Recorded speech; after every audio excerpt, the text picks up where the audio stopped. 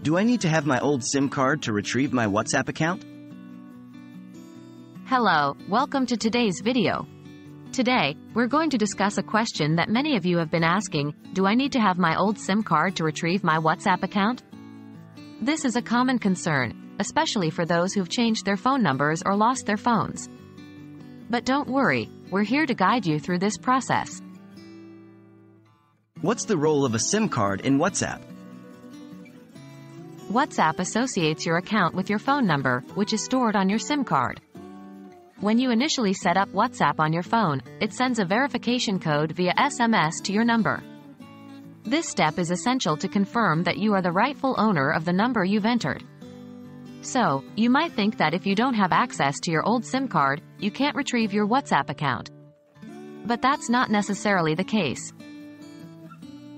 Can you retrieve your WhatsApp account without your old SIM card? The answer is yes. You can still retrieve your WhatsApp account even without your old SIM card, provided you can meet certain conditions. These include 1. You know your old phone number. 2. You've backed up your WhatsApp data to Google Drive for Android or iCloud for iPhone. Once you install WhatsApp on your new device, enter your old phone number during setup. WhatsApp will try to send a verification code to the old number, which of course, you won't receive. After this, you can choose the Call Me option, and you'll receive a call for verification. What if you can't meet these conditions? If you can't meet these conditions, you may need to start a new WhatsApp account with your new phone number. Unfortunately, without access to your old number or a backup of your old chats, there's no way to retrieve your old account. So, it's very important to regularly back up your WhatsApp data to prevent losing your chats and other information should you lose access to your SIM card.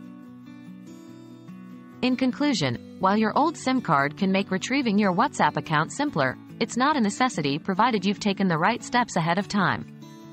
Make sure you know your old phone number and have a backup of your WhatsApp data. And if you're setting up a new phone number, remember to update your number in WhatsApp settings to avoid future problems. Thanks for watching, we hope this video has been helpful. Stay tuned for more tech advice and feel free to drop any questions you have in the comments below.